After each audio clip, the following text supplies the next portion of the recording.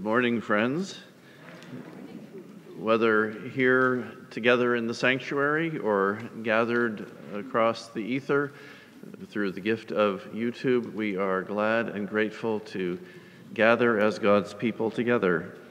Our call to worship reminds us that we gather in the presence of our God who is with us always and draws even closer when we are in need. As you are comfortable, I invite you to stand and to join responsively in the words that are printed in our bulletins or appearing on the screen before you at home. We gather in the steadfast love of the Lord. Thank you, God, for receiving our prayers and praise. God draws near and delivers us from deep waters.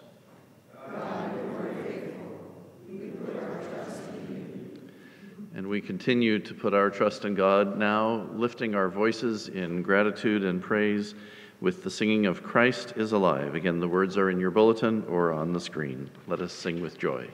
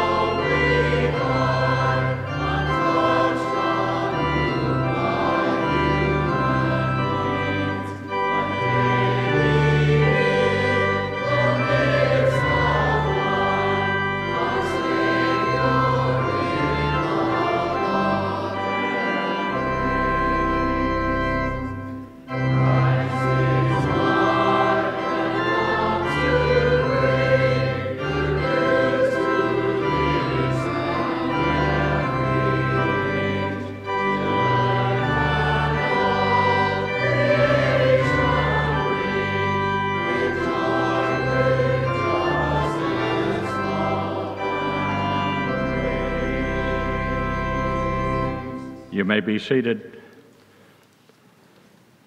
God knows the circumstances of our lives, our regrets, and our hopes. Our openness to God increases God's ability to work through us for our good and for the good of the world. We join now in the prayer of confession and renewal, followed by a time of silent prayer. God, who invites, Invites us, to, the, waters, of grace, help, us, to, comprehend, the magnitude of your mercy. You draw us into fullness of life. You liberate us from what has bound us.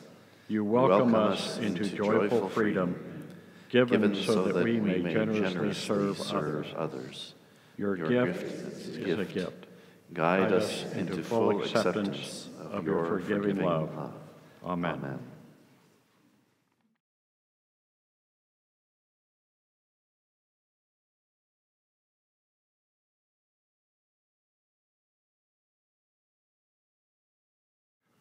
Christ is our peace, breaking down all barriers to a whole and wondrous life.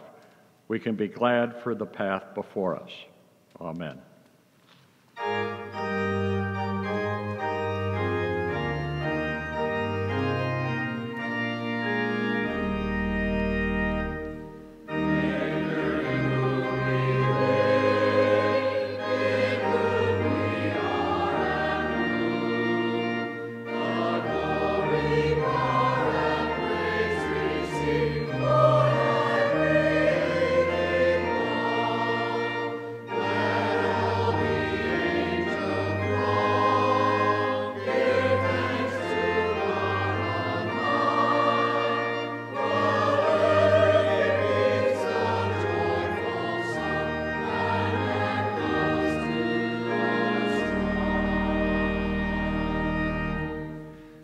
Us welcome one another in the peace of Christ.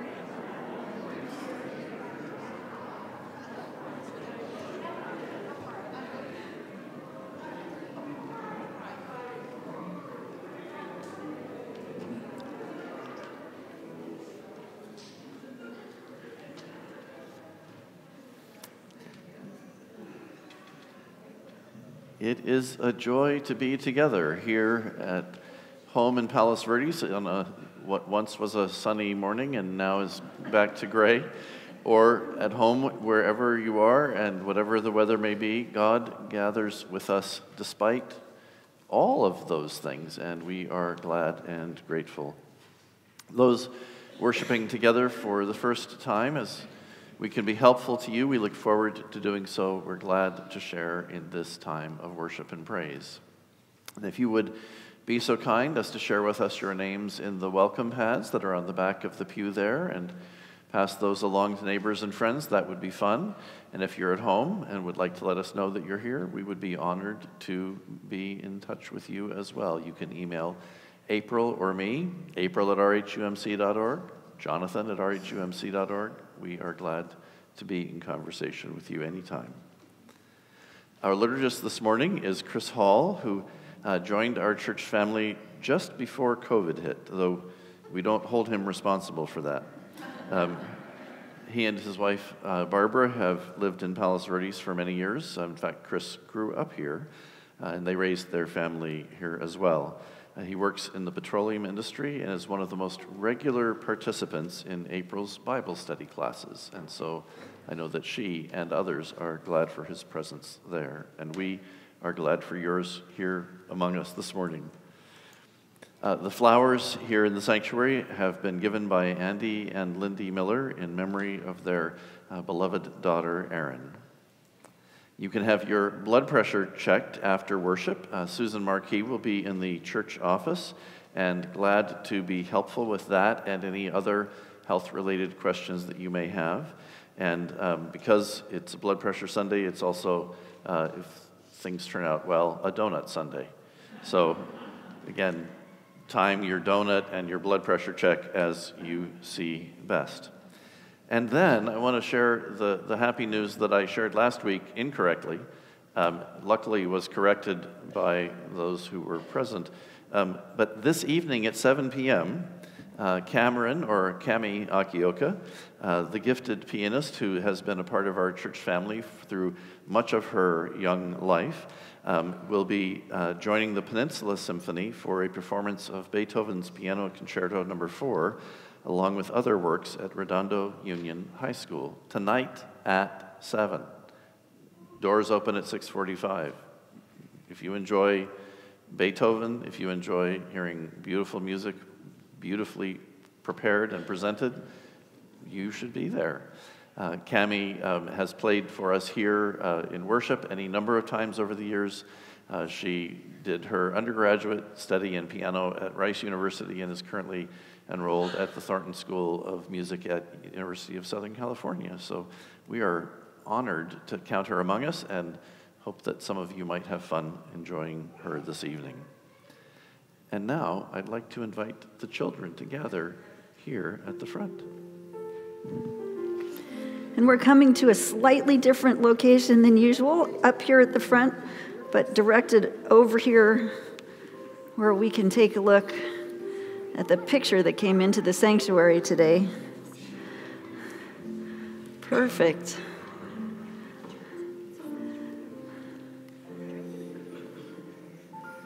This picture of a river was made by John August Swanson, an artist and a good friend to our congregation. And I want us together to take a look at this picture, and you can even scooch a little closer if you need to, because I, I would like you to tell me what you see happening in the picture. So we can start up here near the top. What do you see happening? Mowing. Yeah, it, it's like mowing is one way to say it. Hoeing would be another word. Yeah, it's a farm, and it, it looks like the sun is shining, the river's coming along. The farmers are irrigating. There's a garden over here. Yes, the sheep are drinking from the water and enjoying the green pasture. They are swimming in the ocean. They're swimming in that river. They're having fun. Does anybody notice a few others? This is very thorough. That's a shepherd and some more sheep. And these people, yes, Willa? Um, Let's give Willa a turn to see if she sees something too, okay? Willa, what did you notice?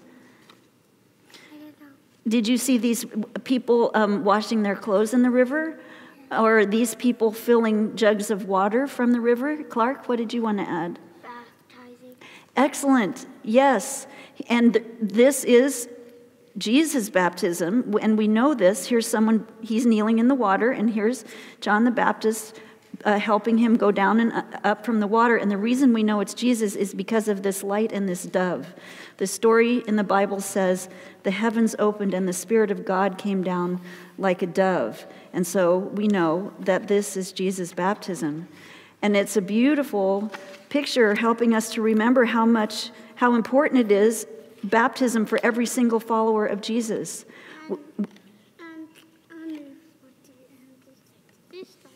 Yeah, so. And what we, I was at the beach then.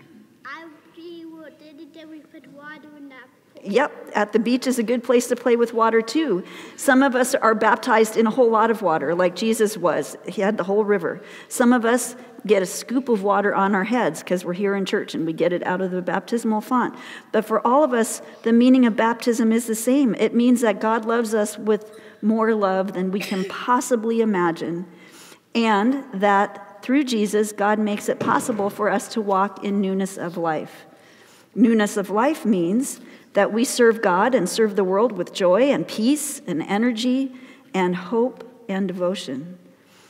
So, baptism involves water, but it's not exactly the same as taking a bath. We have to take a lot of baths in our life. Pretty much every day, I bet you take a bath or a shower, right? Because we get sweaty or sticky or grimy, we've been busy, we spilled food on ourselves, we got the pain in our elbows, right? And so, every day we need a bath, and it always feels wonderful. We have one baptism in our whole lives, and because of the gift of the Holy Spirit that comes with it, it's always working in us and through us. Our baptism keeps helping us our whole lives long to grow in grace and faith and love. Now, a long time ago, all this about baptism was explained by a man named Paul. Hundreds of years ago, he wrote a letter. And in those days, he, people wrote their letters on parchment, which wasn't quite as rectangular and smooth as this paper is. But he wrote his letter to people in Rome, and when they got the letter, they read it and they found it so helpful. They gave it to their friend to read, and their friend gave it to their next friend to read, and their friend gave it to their sister and gave it back to the other friend, and they circulated that letter around and around until people practically had it memorized. And then they started making copies of it and sending it to other cities because it was such an encouraging letter. And eventually it made its way into the Bible so that we could be encouraged by it too. I see Clark's been working on reading it. Would you like to read it or shall I read it? It's one of my favorite. Okay. Dean Child in God, all of us have been baptized in Christ Jesus so that, like him, we too may walk in newness of life. From your friend Paul, a senat, senant of God.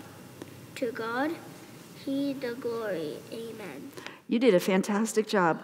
And I'm going to read it one more time. Yes, beautiful.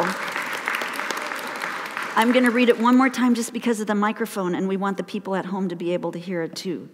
And you were exactly right. It says, Dear child of God, all of us have been baptized in Christ Jesus so that we, like him, may walk in newness of life. From your friend Paul, a servant of God, to God be the glory. Amen.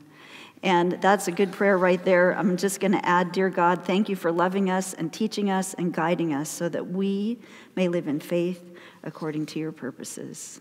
Amen. I hope you have a good time in Sunday school and keep practicing your reading. That was fantastic. And your observation skills, really great too.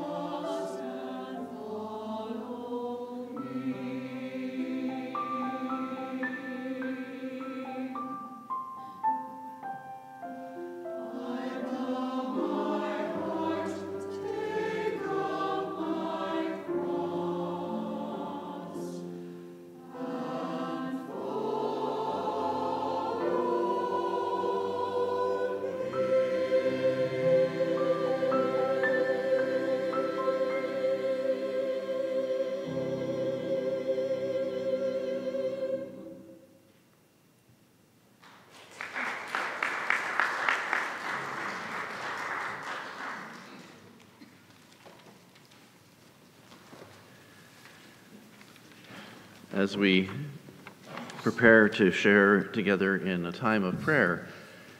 It is a gift and a joy uh, to see Donna Gallagher with us this morning as she continues her recovery from surgery and regains mobility. Um, we've had her in our prayers for some weeks now, and it is just uh, lifts my heart to see you in, in, in person. It is good to be together. We have other persons um, who, who are also giving thanks, and some who are facing challenges that are important to them. And we are very glad that um, baby uh, Florence Naragi is home from the hospital now and is uh, nursing well. So she is where she belongs uh, among her family and has come through the uh, intensive care that followed her uh, early uh, induction into this world. Um, Drosch is having hip surgery later this week, June 29th, and we'll want to keep her in our love and care. Uh, we are also giving thanks that uh, Carolyn Oberparleiter is able to uh, leave Colorado today uh, in the company of her son, Brian Lampshire. He'll be flying back with her. Um, she had had a stroke while on the way to Denver and will be continuing her recovery at Little Company of Mary in San Pedro, which is not only a wonderful rehab center, but also very close to her home. So we're glad for all of that.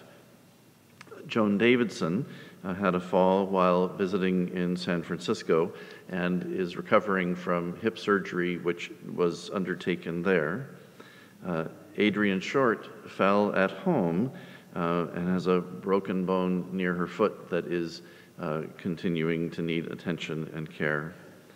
Um, Nina Bradbury has moved to uh, memory care at the Canterbury uh, after a, a, fall that she had last week um, that revealed that she was um, uh, in need of further attention than she was able to have just on, on her own.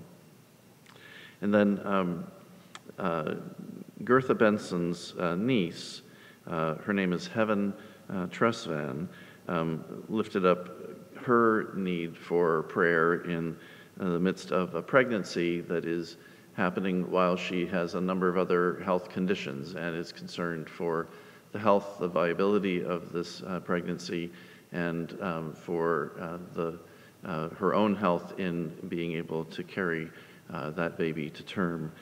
And so we gather our hearts, our minds, our spirits together with an awareness not only of these needs, but others that are present among us today. And whether, again, we are here in the sanctuary or over the days to come um, uh, as we gather uh, virtually, um, please know that God hears these and other prayers. And as I am lifting up these names, if you are lifting your own needs and hopes, uh, God is with us all together. Uh, let us now pray. God of mercy and majesty, God of hope and joy, we come to you this morning in prayer to thank you. We come to be reminded of your grace and care that goes with us in all our days. You know us better than we know ourselves. You number the hairs on our heads and watch over us in your steadfast love. You encourage us to live in the confidence and hope that you are with us wherever we go. You invite us to step out with faith and encourage, speaking the truth of your love as we follow where Christ leads. Around our world, O oh God, your people face challenges to their lives and hopes. In Ukraine and in Russia, Conflict over power, over land, over the very future threatens so many and undermines possibilities for lasting progress in our world. Migrants to Europe, as well as to our own land, risk their lives in the search for a more hopeful future for them and their families. We fail to take care of our human family, whether those in trouble live across the world or across the street.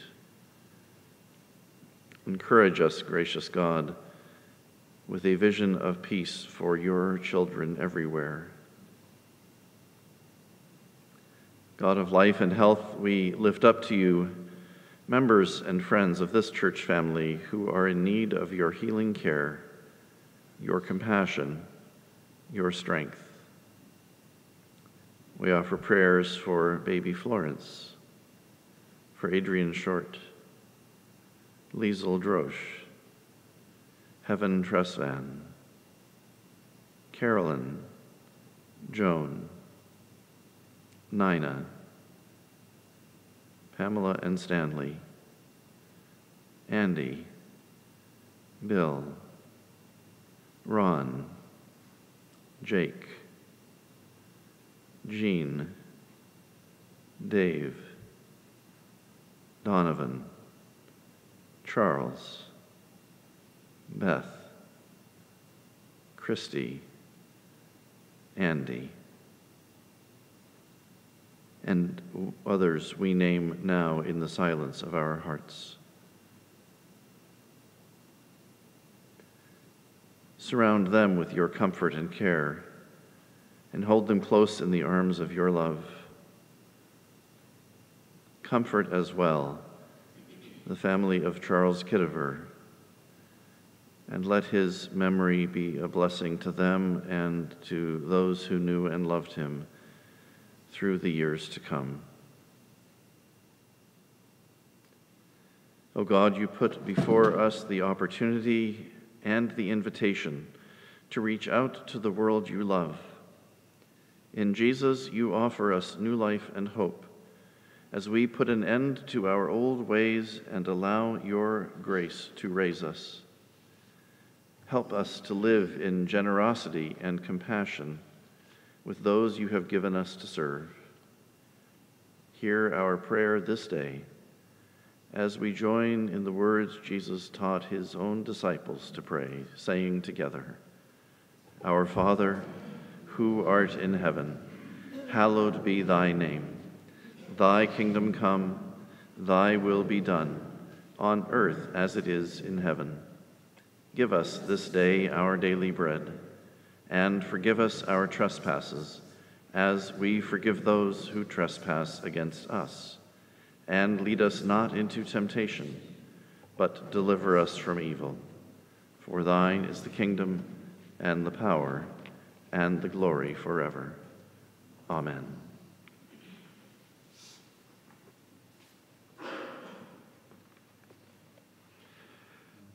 Our gifts to the mission of the church are conveyed in person, online, and through the mail. Our offering plates are both physical and digital and contributions arrive throughout the week. We dedicate them all with this prayer Eternal God, in gratitude for your unending love, we offer you fruits of our labors and of your generosity. Use them as you will to the best advance the health of the world and the life giving gospel of Jesus Christ. Amen.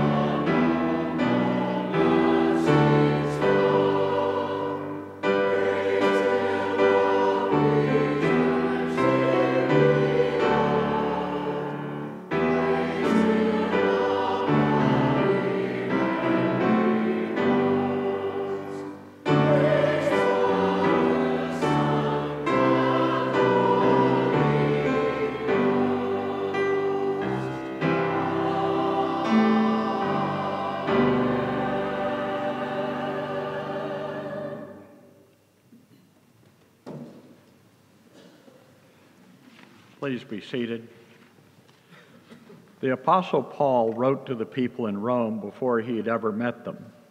He wanted to confirm that the believers there had a full understanding of the grace of God and the nature of a faithful human response to that grace.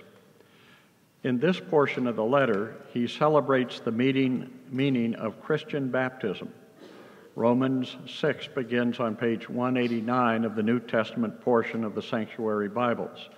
We'll be reading the second part of verse 1 through verse 11. Shall we continue in sin in order that grace may abound? By no means. How can we who died to sin go on living in it? Do you not know that all of us who have been baptized into Christ Jesus were baptized into his death? Therefore, we have been buried with him by baptism into death, so that, just as Christ was raised from the dead by the glory of the Father, so we might too walk in newness of life. For if we have been united with him in a death like his, we will certainly be united with him in a resurrection like his. We know that our old self was crucified with him so that the body of sin might be destroyed, and we might no longer be enslaved to sin.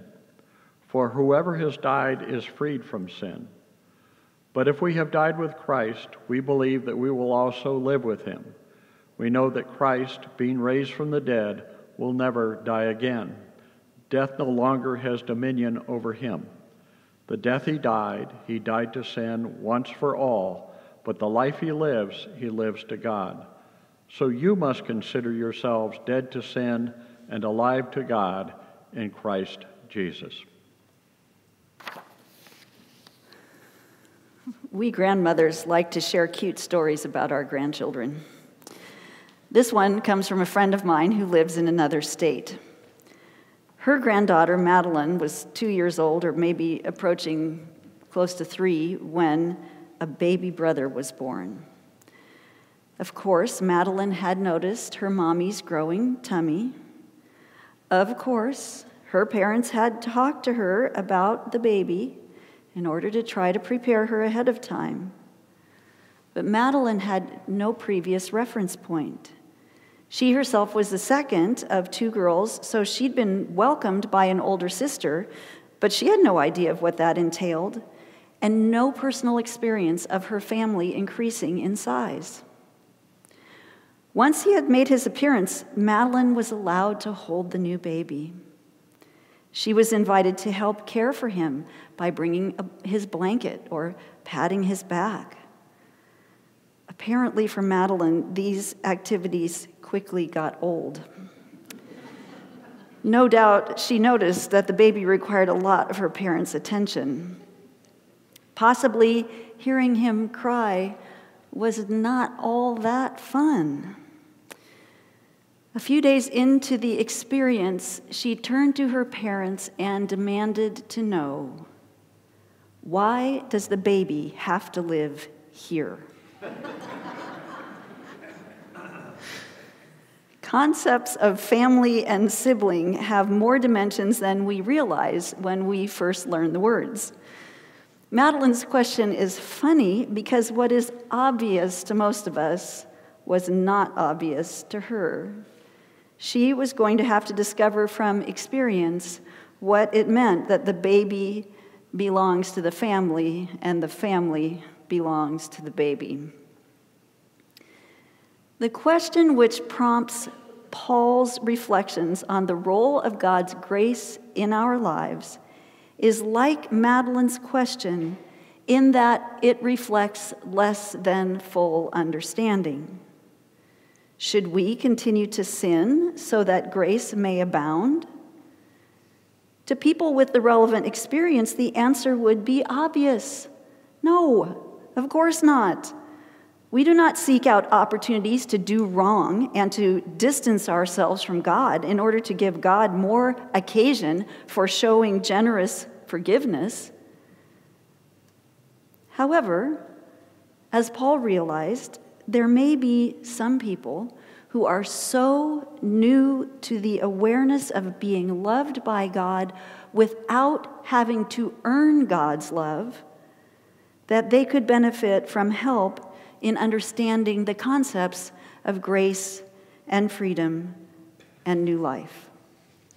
Truthfully, it never hurts any of us to review what we think we know and to attempt some advances toward grasping and incorporating what we still need to learn.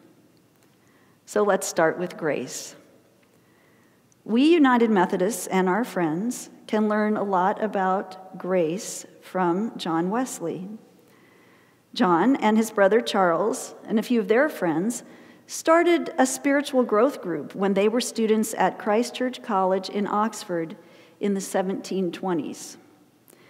Because of this group, the name Methodist came into being.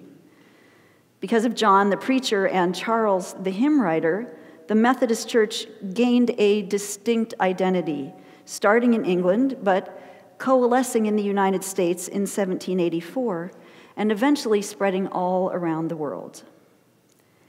If you were to look in a United Methodist hymnal, you would find that the hymns about grace are organized into three categories prevenient grace, which is the love and mercy of God that goes ahead of us and works to draw us into relationship with God and Christ Jesus. That's one. Second is justifying grace, which forgives all the ways that we have gone astray from God and assures us of God's love for us. And third, sanctifying grace, which helps us grow in our ability to love and serve God, serve God's people, and serve God's world. Prevenient, justifying, and sanctifying grace are concepts described by John Wesley to emphasize that we are all in a process of learning and being made able to live more fully in the goodness of God. Wesley's understanding of grace is highly consistent with Paul's letter to the Romans. In chapter 6, verses 1 through 11, which Chris has just read for us, Paul emphasizes that our situation is not static. When we're baptized, we sink into the waters and we leave behind our old selves and the things that weigh us down and cause harm. We rise out of the water rejoicing that God's Spirit is working in us and through us. We are now in a position to do what Wesley called going on to perfection. Not in the sense that we are superior to anyone else, but in the sense that our acts of faith and our trust in God is transforming us more and more into the person God calls us to be. John Wesley was strongly influenced not only by the book of Romans, but also by Martin Luther on this point, and in particular by Luther's commentary on the letter to the Romans. Wesley was actually listening to a reading of Luther's thoughts about the letter on the night when he, Wesley, experienced a profound sense of reconciliation to God. Perhaps he was stirred by Luther's observation that faith is a work of God in us, which changes us and brings us to birth anew from God. Or by Luther's testimony that faith is a living, unshakable confidence in God's grace, and that through faith, a person will do good to everyone without coercion, willingly and happily. They will serve everyone, suffer everything for the love and praise of God who has showed them such grace. Change, dying and rising, walking in newness of life, living to God these are themes that have been highlighted by great leaders of the church across time and geography, inviting us to enter into and experience the process of spiritual growth and transformation. Inviting is a word deliberately used because in Paul's letter, we are being encouraged to freely choose to experience freedom in Christ. The problem with thinking that it would be a good idea to sin more so that grace can abound is that sin is not actually anything fun. Sin leads to self harm and social harm. By encouraging us to die to sin, Paul does not mean to quash our exuberance in the good gifts of God's amazing creation. He's actually simply longing for us to experience liberation from addiction, violence, dishonesty, exploitation, cruelty, so that we can truly enjoy our lives in the world. For those who purport to be following Jesus to suggest, let's keep sinning, is about as far off the mark as when the followers of Moses, who by God's power had escaped bondage in Egypt, said, Let's go back, the food was better there. Apparently, they forgot that captivity costs lives. After all the work and sacrifice extended to gain release, they forgot. Maybe we forget sometimes that the goal is to go forward into the freedom to be faithful to God, not back into fear and frustration. God, says Paul, wants us to be able to live in freedom. And freedom does not mean self centeredness, it means living our lives in God and for God. In our case, it means Christ centeredness. I read a remarkable story recently about a man, a gardener actually, with a landscape business, who is creatively working to solve a really annoying problem in the place where he lives, which is the Yucatan Peninsula. The problem is sargassum, the invasive sewage scented seaweed which has been piling up on beaches across the Caribbean and in other parts of the world as well. Perhaps you have seen reports on how horrible it smells and what an overwhelming amount of it there is. It dwells in the Atlantic Ocean and seems to have gotten everywhere. The problem solver is Omar de Jesus Vasquez Sanchez, whose initial efforts, starting in 2015, centered around organizing a beach cleanup to help remove the leafy algae from the shore so that the water could return to its lovely blue color and the people trying to enjoy the sun and the sand would not feel so nauseated. The causes of the recurring superbloom of sargassum seem to be a combination of pollution, overdevelopment, and warmer temperatures. But Omar has not focused so much on the problem as the potential of receiving the seaweed as a useful gift. In 2018, he imagined a way to turn sargassum into building blocks by combining it with other materials. Today, these blocks are used to build affordable housing in his community. The product is called Sargablock. Omar sees it as having a parallel trajectory to his own life. Omar grew up without a home and without a father. His parents, his mother, and his grandparents migrated wherever they needed to go to find work. So there was no, sense of permanence. And there was a time in his life when he fell into compulsive drug use and became its prisoner. Illness subsequently caused him to fall into homelessness. But Omar doesn't dwell so much anymore on the pain of the past. He has been freed from that prison of having no sense of control over his own life. He understands his freedom is an opportunity to turn curses into blessings, to live generously and honor the memory of his mother and his grandparents who worked so hard to keep him alive by working now himself for the good of people like them. Omar has built and donated 14 homes out of these Sarga blocks to families in need, including single moms, elderly couples, and parents supporting children with disabilities. When I look at Sargablock, says Omar, it's like looking in a mirror. When you have problems with drugs or alcohol, you are viewed as a problem for society. When Sargassum started arriving, it created a similar reaction. Everyone was complaining. I wanted to mold something good out of something everyone saw as bad. This is what Paul means by the transforming power of God's grace. We are no longer enslaved to sin, he writes. Grace releases us from the shackles that limit and destroy life and brings us instead into the freedom to live for the joy and the satisfaction of doing what is kind and good. The story can be true for all of us. We too, Paul affirms, may walk in newness of life.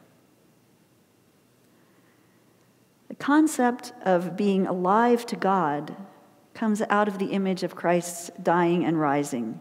Because Christ died and was raised, we know that sin and all its hurtful dynamics no longer have ultimate power over us. Sin is finished, sin is over, we might say.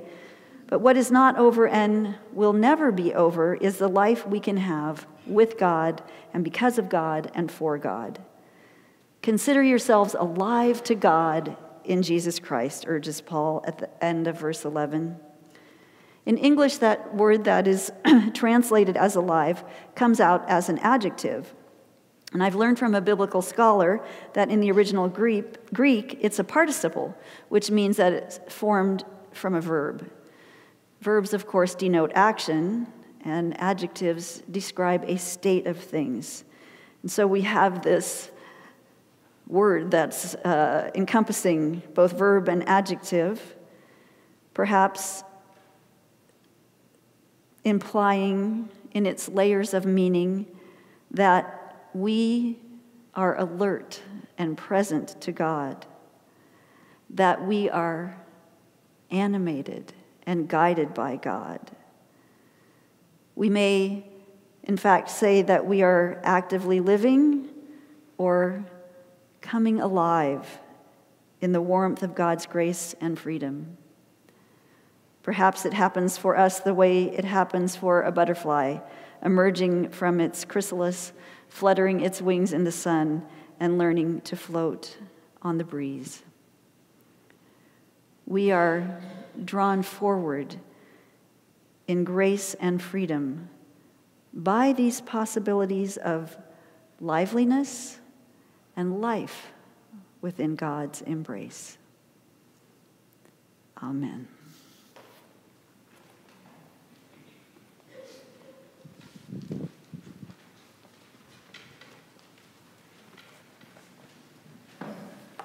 We have a privilege and a joy this day to welcome uh, into our family and fellowship persons who have been uh, worshiping and participating in our life together now for some time. Uh, Art and Debbie, could I invite you forward and to join me here at the front? Um, they are among uh, a number of other good friends whose uh, biographies or brief biographies you can uh, find in your bulletin insert. We have folks who are uh, joining our church family uh, today at 8.30 and at 10 and at 5.30 at whatever services they find as home for themselves. And um, so you can learn about Art and Debbie there. Um, but um, I want to say it has been a joy for me to come to know them. Um, we first made contact in person at a time of uh, need, that they were uh, going through a time of challenge. And that led to our getting to celebrate a time of great joy, um, bringing their lives together uh, in marriage not very long ago. And um, I've had the fun of seeing them here and had the surprise of seeing them uh, unexpectedly in hospital when I was visiting someone else. And uh, Debbie heard my voice at the nursing station and came to get me so that I could have a visit with, with them there. And um, just to see them here on a regular Sunday, um, I just can't tell you, it just uh, makes me uh, glad all, all the way down. And so um, after the service, uh, you'll be invited to welcome them, greet them uh, in person. They'll be out on the patio. You'll have to choose between blood pressure donuts and these fine persons.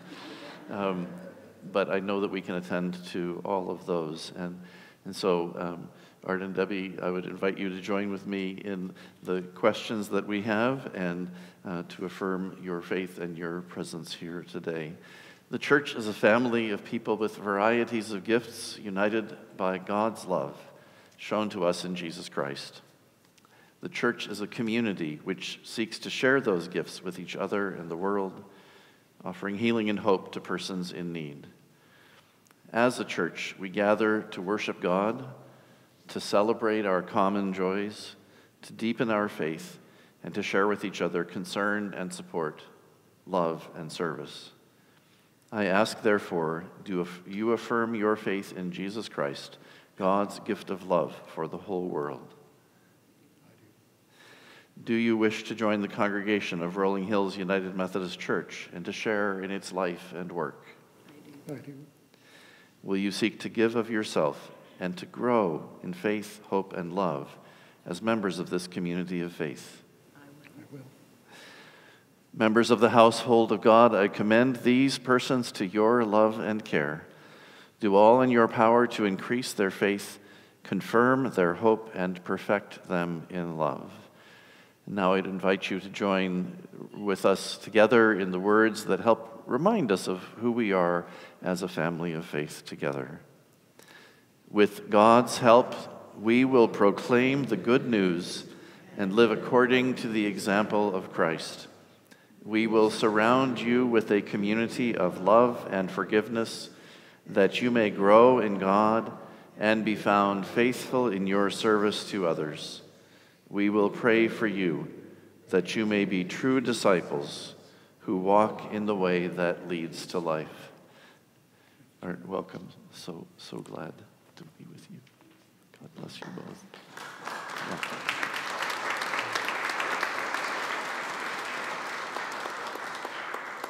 And as they return to their seats, we might find the words of our hymn of celebration.